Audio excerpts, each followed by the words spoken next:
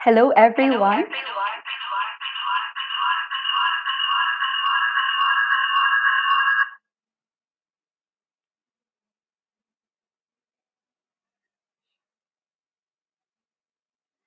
Hello, everyone. Good evening po sa inyong lahat and welcome to the second session of our Civil Service Exam Review. And of course, this is brought to you by Gurong Pinoy. Tonight's session is on verbal reasoning. I am Coach Sha, and I will be with you for a couple of hours to help you answer test items on English grammar and correct usage. If you are a LET taker, you may also join us here since the general information part of the LET will also cover verbal reasoning. By the way, we have given you in advance a copy of the test material of the verbal reasoning part one. I hope you were able to scan through the items or even started answering the test so that we will be able to have a smoother flow of discussion tonight. The test materials and the full video of the review sessions, however, are exclusively shared to Gurong Pinoy group members. So join na po tayo sa Gurong Pinoy and if you have questions, please don't hesitate to send us a message in our Gurong Pinoy Facebook page. All right? Um, may I also invite you to input in the comments section your location so we would be able to know kung gaano po kalawak yung sakop ng review natin for tonight. All right? And uh, should you know anybody or a friend who is also about to take the test, and it's not right here, please do tag them here or share them this video so we would be able to help as many people in preparing for the said test. Okay? And um, I believe that your attendance for tonight in this session is part of your preparation. And this is confirmed by Alexander Graham Bell when he said that before anything else, preparation is the key to success. And I believe that with the right preparation, each one of us right here will be able to succeed in the test. It just take the right spirit, the motivation, and of course, a strong heart to believe in ourselves that we can make it. But don't you worry, your Gurong Pinoy family will always be here to back you up and of course to prepare you to succeed in the test. All right, so good luck, everyone. Let's begin our session with the prayer. God of victory, we know we can achieve glorious things through you. We know you will lead us into wonderful achievements in this review. We know that you are with us during this time of studying and preparing. Please help us reach our goals and the standards that we have set for ourselves. Lead us towards excelling. On the day of the exam, please make known to each one of us, Lord, whatever we have learned. We ask this in the name of your Son, Jesus Christ. Amen. All right. So let me check first. Let me check first and uh, do some shout out to those who are here with us tonight. Oh, we have a Facebook user from Quezon City. We also have uh, from Antique and from Bulacan. Oh, Ozamiz. So we have uh, Visayas, uh, Mindanao, and Luzon audience. Wow, ang lapad ng sakop natin. I hope this session will be uh, very productive and meaningful for all of you. All right, so let's start. Uh, as I have said, our session for tonight is on verbal reasoning, and I have chosen uh, items for English grammar and correct usage. In the upcoming sessions, I will be uh, sharing with you items on Filipino because if you take the civil service exam, it's not only exclusive to English, but you will also encounter test items for Filipino. But for tonight, um, I have prepared test items exclusively for English and um, hopefully uh, the mas malawak yung sakop ng ng items in relation to the grammar rules. Okay? So um, the instruction says, or the directions says, choose the, the word or phrase that would best complete each sentence. And I hope you are now ready. So in the comments section, as you see the test questions, please key in one, two, three, or four, or five, which will be the choices that you will encounter when you take the civil service exam. Okay? Let's begin with the first question. Everybody, get ready.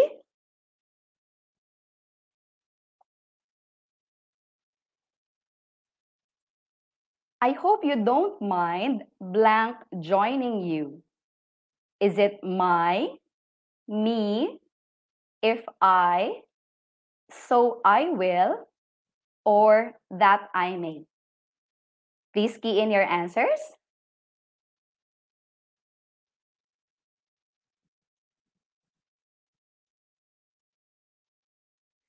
And um, if you key in your answer and uh, you remember a grammar rule that support your answer, you may also share it here in the comment section. I'm receiving varied answers so far. Some also put answers with a question mark, meaning you're still not so sure about it. I will help you, I will later on guide you to arrive at the correct answer. Okay. All right. So the choices the answers that were keyed in here ranges from one, two, or three. So nobody answered four and five, and that's good because four and five are actually not the correct answers. So let's take a look first at answers, choices three, four, and five. So these answers are actually incorrect. Let me Why would they say so? If we read the statement, if we fit the choices in the statement, it would be, I hope you don't mind if I joining you. Now, joining is not a verb. Although it looks like a verb given the word join, when you add an ing, it could become a verbal already. A verbal, allow me to just give you a, a brief uh, discussion on a verbal. A verbal is a word that looks like a verb, but actually does not function as a verb or an action in the sentence. So joining here, although it looks like a verb, does not act as a verb actually. So how do we correct that? So we would say, I hope you don't mind if I join you. So the subject becomes I and the verb becomes join. All right. So true with items four and five, given that the word joining is a noun or a yeah is a, a function is a verbal that functions as a noun we call it a gerund um, if we correct the statements in number four we remove the ing in the word join the same thing in choice number five but even if we correct it, even if the word becomes join, number four and number five are still not correct sentences because the meaning are different. It's not the intended meaning. For example, when you say, I hope you don't mind, so I will join you. The so expresses a result, and the statement does not intend to express so. The same with number five. So three, four, and five are actually incorrect. Let's take a look at items. Uh, we're now left with uh, choices one and two. It's between my and me. When we say my, it's it's a possessive case pronoun and me is an objective case pronoun. So let's take a look. I hope you don't mind my joining you. I hope you don't mind me joining you. So let's see what the what the rule says about these two. So when we say we use a the rule says that we use a possessive pronoun before a gerund when you want to indicate the doer of the action. So let's take a look at this. I appreciate you helping me. And the word helping, as I have told you earlier, is a is a gerund, a kind of verbal that acts as a noun. Don't worry if in the first item you already got it wrong. Um, but if we take a look at this statement, the first one, it's incorrect because uh, the you is an objective pronoun. When we say objective pronoun, meaning it becomes a receiver, not the doer. When you want to express that it's the doer of the action, you use the possess- possessive pronoun. So you would say, do how do we correct the first statement? You would say, I appreciate you. Whom do I appreciate? It's you. So you becomes the receiver of the action. And why? Because you helped me. So the way, one way to correct the uh, erroneous sentence is this way. But uh, to pair it with a gerund, instead of saying you, we use the word your. I appreciate your helping me. Who's helping do I appreciate? It's not you, but your. So going back to our uh, sentence, uh, our test item, number one's answer is one. All right. Kudos to those who answered it correctly. Very good. Very good. So we have a Facebook user, and we also have uh, Linarda. Oh, good job. All right, let's go to item number two.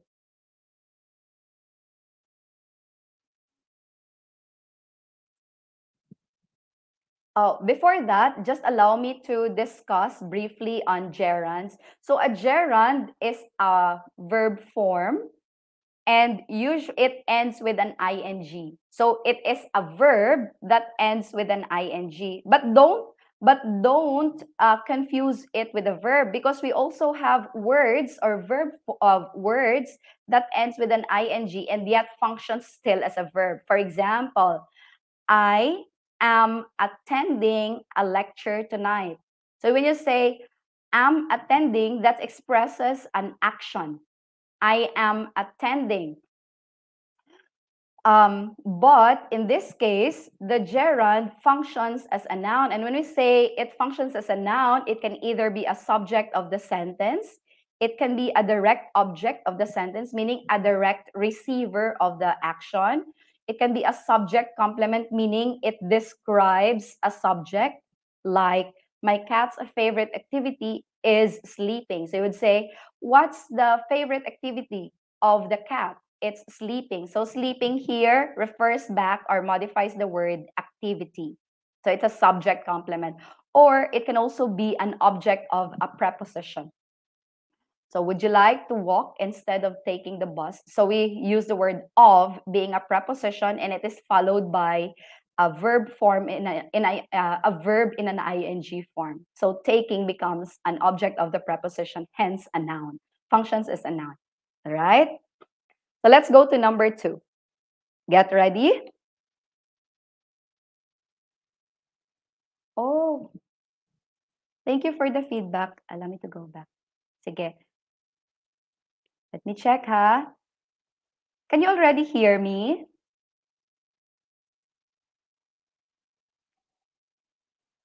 Allow me to proceed. Please give me a feedback should, you, should there be technical difficulties from my end. All right. Number two, the children are very creative. They blank how to improvise their props. Is it know, new, knows, known, or are known?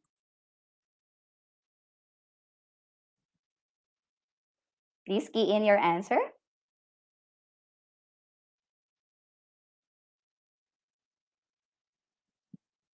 Thank you so much for the feedback. All right, so this time still varied answers. Okay.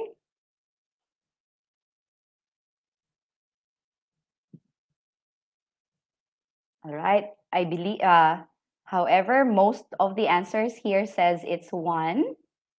All right, and there are answers for five. So it's between one and five. All right. So let's take a look at them.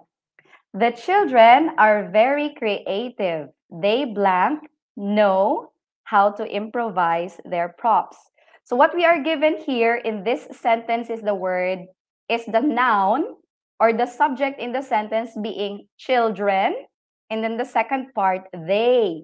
And when I say children and they, they are plural in form.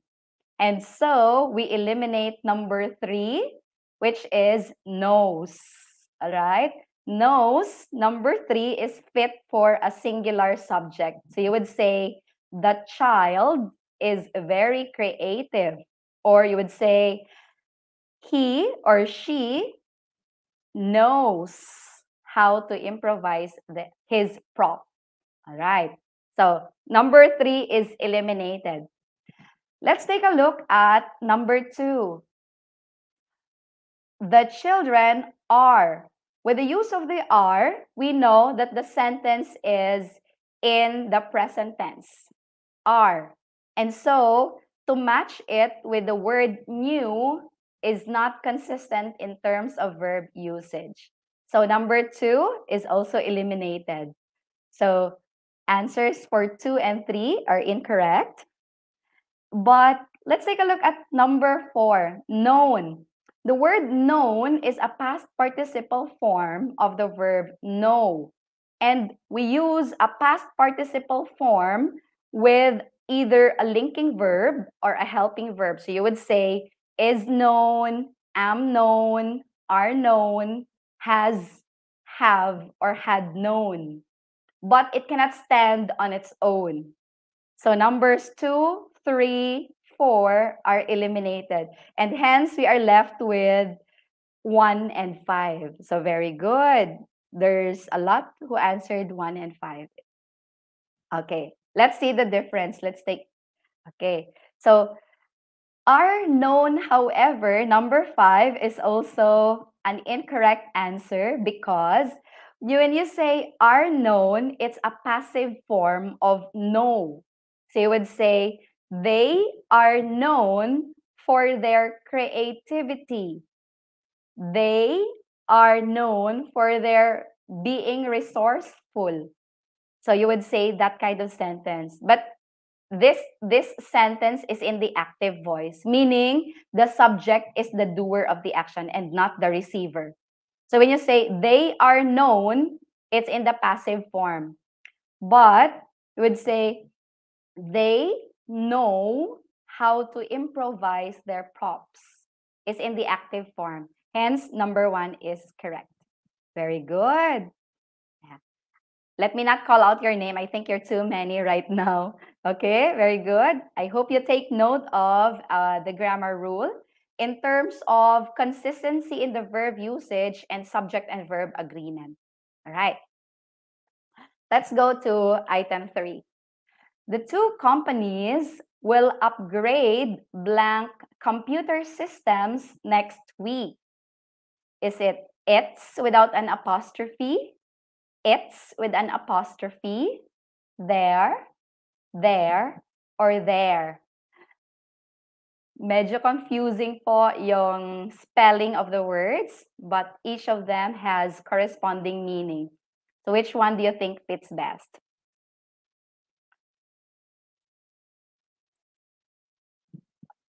All right.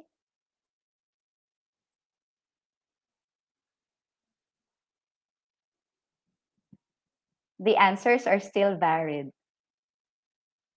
Let's wait for the others. Okay. Yeah.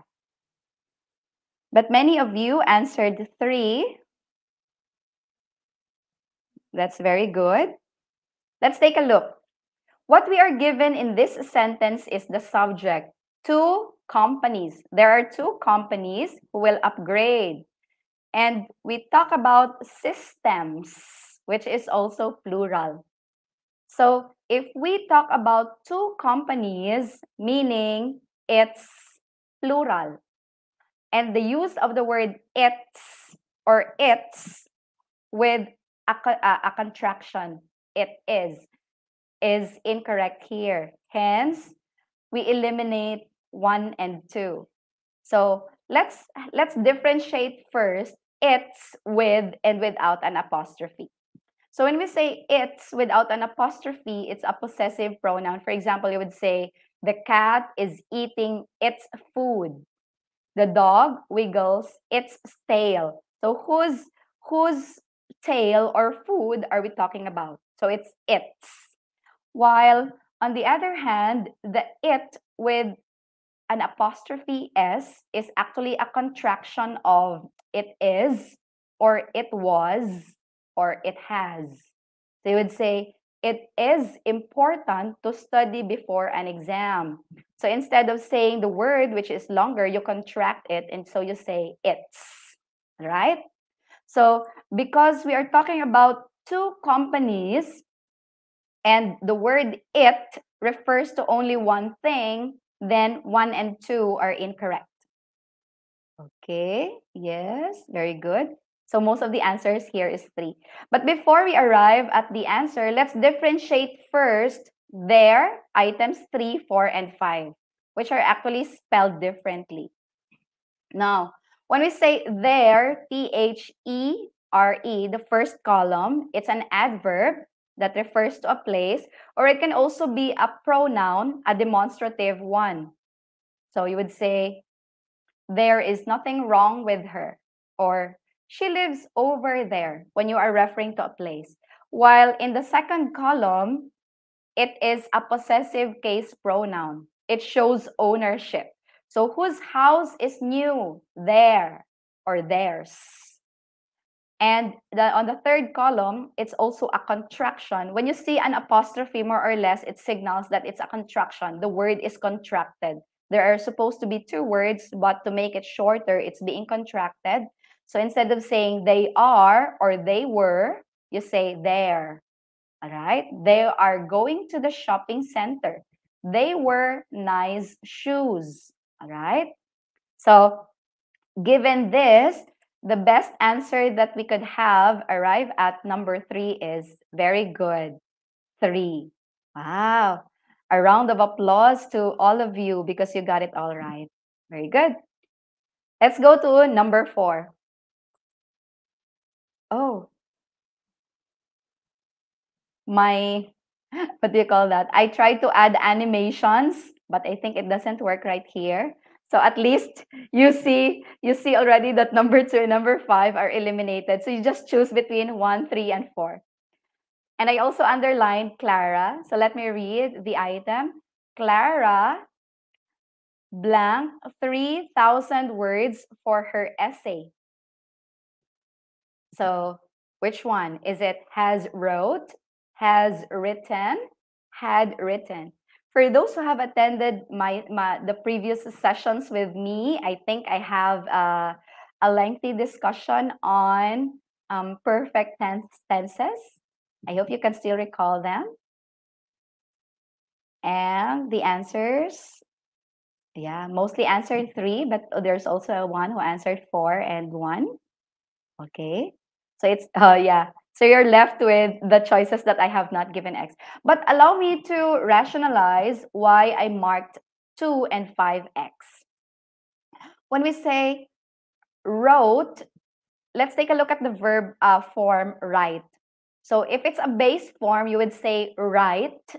If it's an S form, meaning it fits for a singular subject, you would say writes. If it's a a past form, you would say wrote. But if it's a participle form, a past participle form, you would say written. And the past participle form of the verb is always paired with either is, are, am, which are linking verbs, or has, have, and had, which are actually um, for perfect tenses. So the sentence that I'm, I'm I'm presenting to you right now is a perfect tense. It's actually yeah, it's a perfect tense. Allow me to reveal what kind of tense what, what kind of perfect tense later. But um I have eliminated have wrote because the underlined subject here is Clara. And Clara is singular. It's only one person and for one person or for a singular subject, we always partner it with has and not have. So 2 and 3 are eliminated. We don't know yet the tense of this verb, so it could possibly be a has or a had. But I would also like to eliminate number one, those who have answered number one, because as I have said, when we are talking about perfect tenses, when you have when you pair an action word with a linking verb like is or am, you would say is written and not is wrote. Are written, am written. The same thing when you partner it with helping verbs like has, have, or had, you would say has written, have written, or had written, but not wrote. All right? So we eliminate items one, two, and five. And so we are left with items three and four because we say this is a perfect tense verb. So let me proceed to the next slide.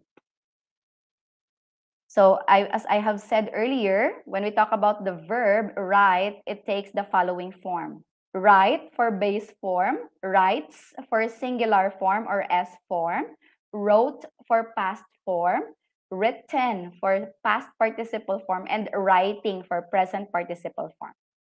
So two is uh, one is also eliminated, which we where we are left with um, is it perfect tense? Is it a present perfect tense? Has written? Or is it a past perfect tense? Had written? Let's take a look at our statement. Oh, before that, allow me to differentiate present perfect and past perfect. So when we say present perfect tense, you mean you use this to express things that you have done in your life. You may not specify the time expression. So the time expression may not be specified here.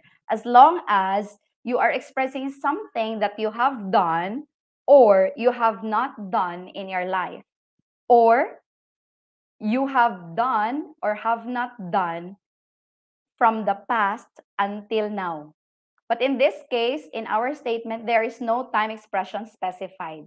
Whereas when we talk about past perfect tense, you use this to describe an action finished before another past action. And in this case, there needs to be a specified time expression that it happened in the past or that there is another mentioned past action. So going back to the statement, nothing. There is no other action stated. And there is no time expression indicated. Yeah, that's right. Uh, from Phil Ed. Nagawa na, nasulat na. That, that's right. Yeah, meaning it, it has been done. But actually, when we talk about present perfect and past perfect, both are done already. The only difference is that there's a, in, in terms of time frame. In terms of time frame, when we say present perfect, from your the whole of your life from the time you were born until now what have you or have you not done what whereas when we talk about past perfect what have you done before another action occurred or before another action happened okay thank you yeah i'll try to notice i'll try to uh, shout out your names uh, please uh, just give me a feedback here but I apologize if I will not be able to mention all of you. All right. So if we take a look at number four, the best answer here is three. Clara has written 3,000 words for her essay.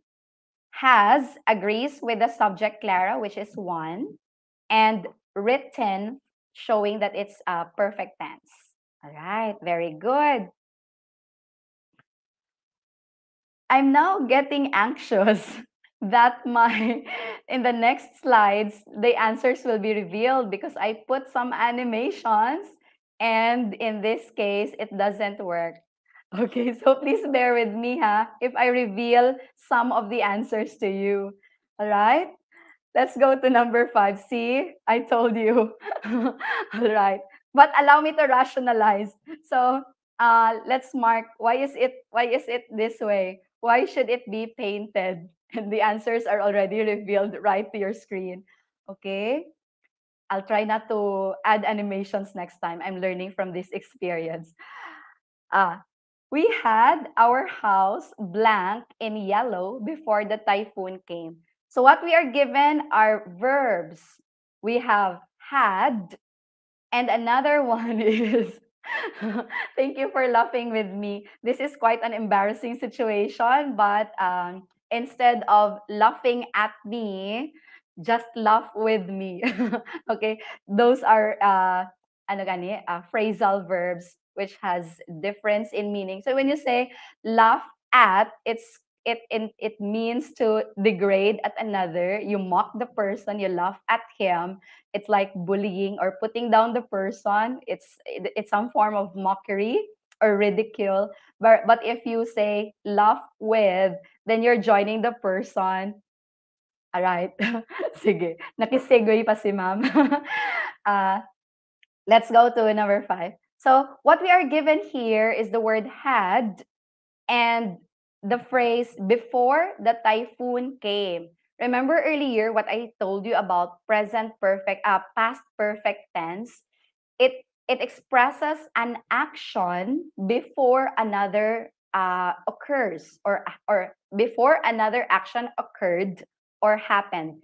And in this case, there are two actions that happened. The first one is painting. The second one is the coming of the typhoon. So if we take a look at the order or the time when the two actions happened, the painting happened first before the coming of the typhoon. So to express that it is a first action before another one is completed or before another one occurred, we use the past perfect tense. Hence, we say, we had our house painted we had painted our house before the typhoon came. So usually in terms of expressing a statement that makes use of a past perfect tense, we use the the, uh, the formula is um, past perfect plus before plus simple past. So had painted plus before plus came, which is a past, uh, perfect past, ano, simple past tense. Sometimes we also use the word after to connect the two actions. So you would say, after we had painted our house, the typhoon came. So you can use expressions like before or after to indicate that there are two actions that have happened. And for the first action, you have to make use of the past perfect. And for the next action or the second action, you have to signify using it uh, or use the simple past form. All right. I hope I was able to clarify this uh, rule to you. Let's go to number six. Oh, there it is again instead of uh, stressing out on on what I did with the presentation, please just bear with me, all right? So at least you are left with items three and four. Allow me to read the statement to you. Flight Z735 blank yesterday. 350 passengers died in that accident. So in the statement, what you are given is that it happened yesterday. And if we take a look at yesterday and check out the verbs there that happened yesterday or, or are in the simple past tense, it should have an ed. Hence, I cross out 1, 2, and 5, which are in the present tense. So we are left with items 3 and items 4. It's between crushed or crashed if you take a look at it, it's a very minute thing. It's the difference is just between U and A, but uh, it means significantly. It means differently, or the difference is that significant. So let's take a look at. Let's differentiate the meaning of the two. What's the difference between crush and crash? So when you say a crash, you you mean It, it could be a collision or an accident. It can be a car accident. It can be a strong, hard hat to protect the head. So a crash helmet. Or you can also use it to say to crash against or to move with uh, a force or to say you you crash a party so uninvited you just get in there or a crash course meaning a refresher. So does the statement fit in this word or does this word fit in the statement? Let's take a look at crush with a u. Ah tama nga dinurog na nabangga. Yeah tama. Or so to say to crush something. So dinurog dinurog dinurog durog. Hopefully it's not our hearts. It's not your heart okay? So to crush the opposition so usually it, this means for war or crushed. When you are when when your crush bust you or busts you then you are feeling crushed. You are deeply disappointed. Or to have a crush on someone, all right? All right? Sige. So, going back, surely you are right. So, the correct answer here is crashed. We mean accident. And we have there the, the clue in the statement. Very good. yeah. So, if you have a crush on somebody, it's better if you receive a yes. But if you receive a no, then surely your, your heart will be crushed. Number seven. Oh, there it is again. So you are left with choices four and five. At least you still have two choices to choose from, no? Having an animation is actually not a good move for me in this uh, presentation. Sige, let's let, take a look at number seven. There is a blank message when you look closely at the painting. So what the clue that we are given in this statement, by the way, when you are uh, given um, test items like this, you are usually given clues. So you have to spot them to help you analyze the sentence. And in this case, the clues are a blank message. So we know that a is an article or a determiner that introduces a noun. And a noun is the word message, a message. So the blank there tells us that it describes what kind of message is it. So we eliminate hid and hide the items uh, choices one and two because they are verbs. What we are looking for are actually is actually an adjective.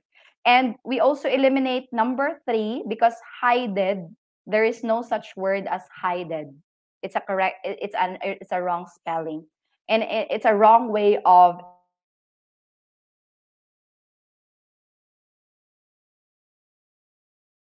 in the past form. So is it hidden or hiding? Oh, there's one who answered five with a question mark, meaning you are confused. So when we say hidden, there's a hidden message. If we they, uh, we if we if we connect uh, if we use the if we choose the best word to fit in the sentence, number four is actually the correct answer here. It's a hidden message. There is a hidden message, meaning some nakatago, nakatagong mensahe. But if we say hiding, the word is also a participle. I will introduce to you what a participle is in a while, but it doesn't fit in the message. So you would say a high. Most likely you would say it is, there is uh, the child is hiding. So you would say like that. And it functions as a verb this time. All right? Now, let me talk about a, what a participle is. I introduced to you a participle. Earlier, I introduced to you a gerund. It is also a verbal. A verbal, as I've said, is a verb the, uh, is a word that looks like a verb but actually functions not as a verb, instead otherwise. So we have different kinds of verbals. There's actually three. The first one I introduced to you earlier, the gerund, which actually functions as a noun. And the second one is an infinitive. An infinitive is a verb that is paired with the word to, like you would say to go, to sing, to dance, to listen. So that's an infinitive. And the third one is a participle. A participle is, is a word that looks like a verb but does not function as a verb. Instead, it functions as an adjective, something that describes. And by, by appearance, if a gerund always ends with an ing, a participle sometimes ends with an ing, sometimes with a d, sometimes with an ed, or sometimes with an en, like the word hidden, or ing, like hiding. Let's take a look. Let's compare the two. So when we say present participle, it ends with an ing form. It's the present participle form of the verb smile. So you turn it into smiling or cry, crying. But if it's a past participle, like written earlier, so you would say spoken, broken, written, a written message, a spoken word or a spoken message. All right?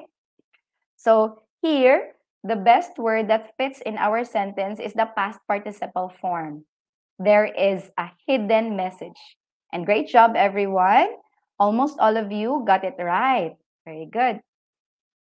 I wonder what would happen next. Am I going to reveal the answer or not? Lord, please no. all right. Let's go to number eight. Oh, good thing. The principal makes sure that harmony prevails blank the departments. Is it of, with, among, amidst, or between? So this time, the statement challenges to you to recall your knowledge on prepositions.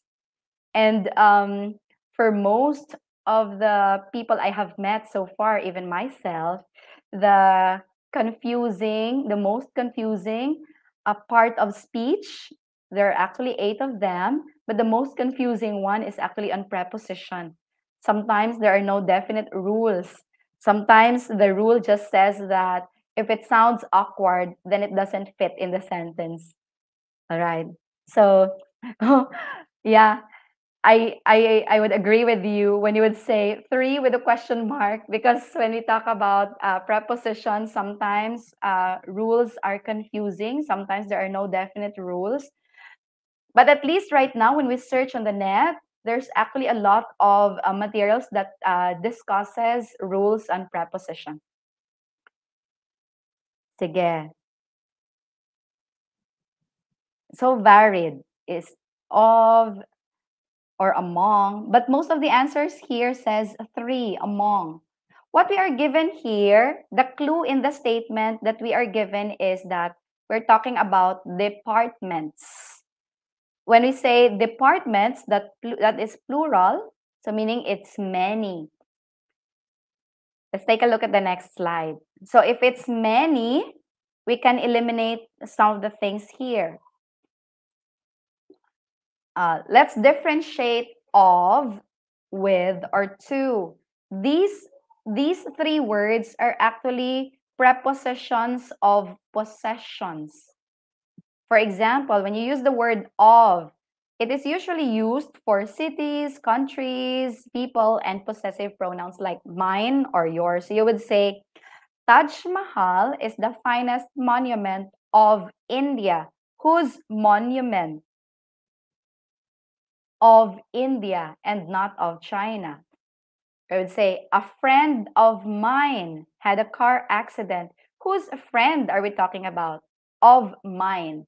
So it's a pos- showing possession. When you use the word with, it is used with objects or materials or animals, still showing possession. The boy with the dragon tattoo. Which boy are we talking about? The one with the dragon tattoo or the cat with black spots. Which cat are we talking about? The one with black spots. When we use the word to, it is usually used in expression, in the expression belong to. For example, you would say, this race course belongs to the government. To which does the race course belong? So to the government. So if it if you encounter these, these are actually prepositions of possessions, meaning showing ownership or possession.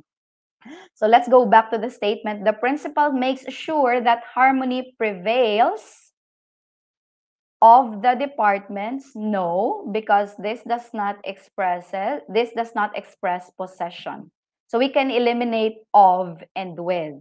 So we are left with among, amidst, and between. Let's continue. So those who say 1 and 2, that's actually incorrect. Those who answered 3, uh, no, nobody answered 4 and 5. And I agree with you because the best answer here is 3. Why? Let's differentiate the 3. When we say between, you're only talking about two. Or sometimes you can talk about more when you mean that the one that you are referring to is in between something at the left and something at the right. But usually to say between, you, you mean two, two things. The ball rolled between the desk and the ball, in between the two. There is very little difference between a lion and a tiger. So two things only. What about among? It means you are surrounded by something or somebody which is more than two. And it is usually used when we talk about countable things. Remember, count noun versus mass nouns. Count nouns, you can count them one, two, three, four, five, but mass nouns, they are not countable. So we walked among the crowds in Red Square. And we say crowds are people. You can count how many of them.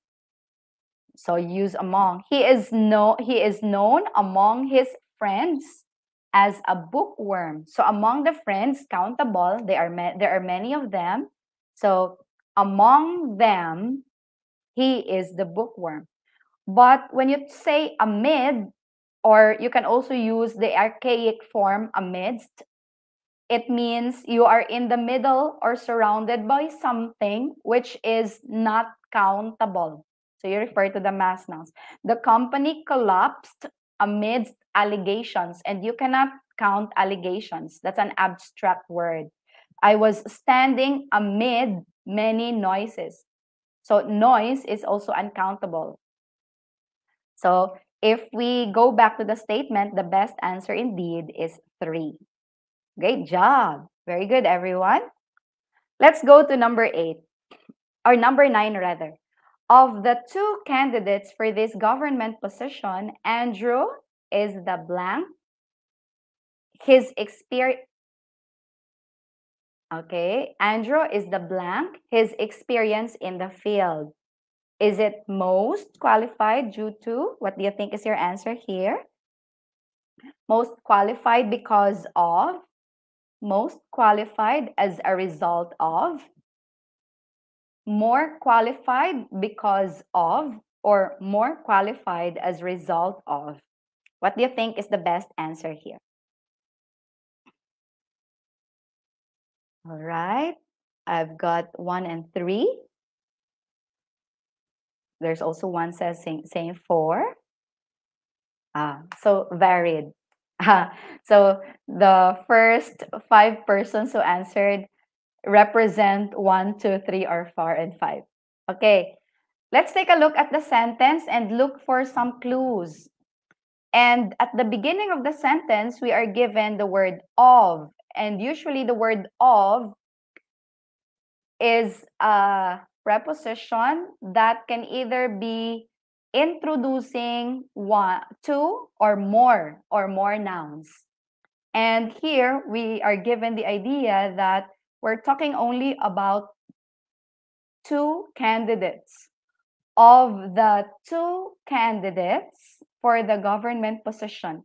And if we recall our lesson on adjectives, degrees of comparison, we say positive degree if you're talking about only one person, comparative degree if you're talking about two persons, and superlative degree if you're talking about three or more persons. But in this case, in number nine, you're talking about only two candidates. So we are talking about a comparative degree of adjective. And when we say beautiful, for example, that's the positive degree to say that in a comparative degree, you would say more beautiful. But if you say it or express it in the um, superlative degree, you would say most beautiful. And in this case, that's right, more qualified because of. Yeah. So we are talking only, that's right, Leslie, you're talking only about two candidates. And so we can start eliminating one, two, and three. The use of the word most is fit only for uh, superlative degree, meaning you are comparing three or more persons. So we are left now with items four and five. It's more qualified. Andrew is the more qualified of the two candidates. Now, the differentiation now is left between because of and as a result of. If we take a look at the two, because of and as a result of, they would mean the same because we're talk we're talking about the expression due to actually due to because of as a result of almost similar in meaning but what's the difference between the two when we say because of and as a result of the only difference is that the expression as a result of is incomplete the correct expression actually is as a result of. They both mean the same. To seek as a result of is used to introduce the cause or origin of an action. The same way when you say because of. So the what is the correct answer? Yeah. I forgot number seven. Allow me to go back later. We are already in number nine. And I, yeah, allow, allow me to go back later. So number so number nine if we if we go back here we say the best answer is actually four.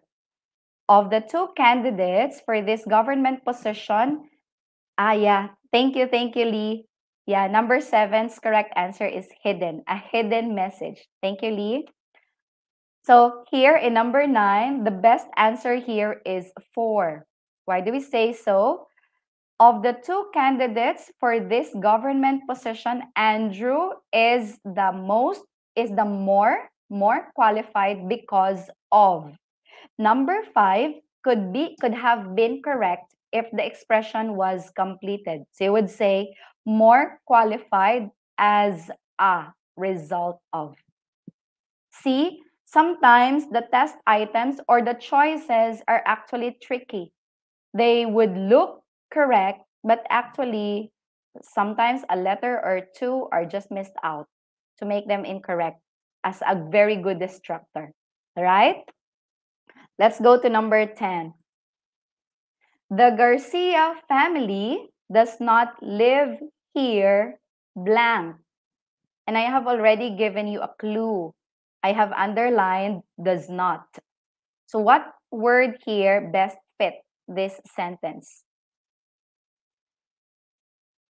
Facebook user is also asking for an answer to number six. Can somebody help me? If you could check out, we could help the face uh, our Facebook user identify the answer for number six. It's quite difficult for me to go back to the test questions. Here, could it be no more, anymore, which is spaced? Very good. Thank you, Lee.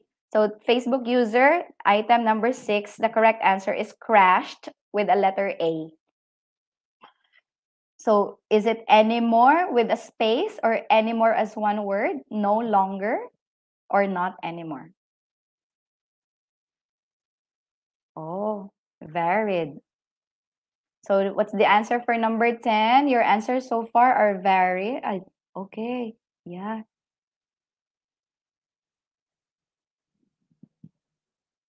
Mm, all right. So most of you answered number three, the one without space. And that's actually correct. Very good. But why do we say so? Have you recalled, for those who have attended sessions with me in the past, I talked about double negatives. So when we say double negatives, it's using two negative words in the same sentence. For example, you would say, I haven't got none. So you have went with a not, and then none means also negative. So we shouldn't we should avoid these kinds of sentences.